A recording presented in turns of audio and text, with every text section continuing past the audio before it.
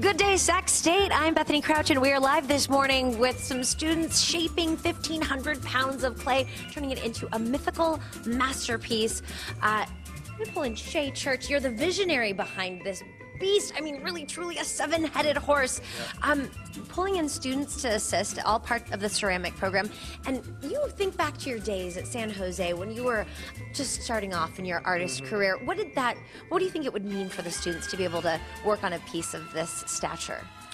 Well, I just think it's important for students to realize that they can take chances, take risks, and um, try to make uh, work that they're just really interested in, they're passionate about. That's that's what I try to teach to my students. Love the larger than life. Okay, so the vocabulary word of the day is. What, what, what do you describe the piece, the wooden piece the, that kind of Uh, holds the whole thing? The armature. Okay, armature. There will be a quiz later. So the armature is what we're actually getting to see the time lapse video that John created for us to see how this whole thing came together. It's been days of work. Yeah, it has. We start out with just scrap pieces of wood that we start milling up, and we screw it together and pin it together with nails, and then it just slowly starts to build up. And I need a lot of help and a lot of hands to do it.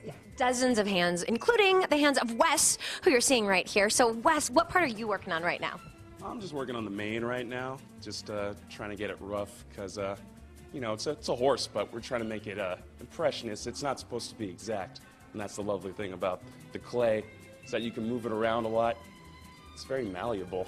It's just really fun to work with. Oh, yeah, it certainly seems like it would be. And then we've got Heather up there, who is Shay's assistant, who's been working around the clock on this little mini scaffolding. She's a champ. They were here late into the night, early in the morning again.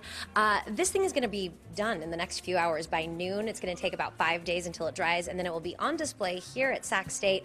Um, through May. So you have a plenty of opportunity to come out, check it out, and experience this mythical masterpiece for yourselves. Bye, guys. All right. Thanks, Bethany. Awesome, Bethany. Stingers okay. up to our alma mater. Absolutely.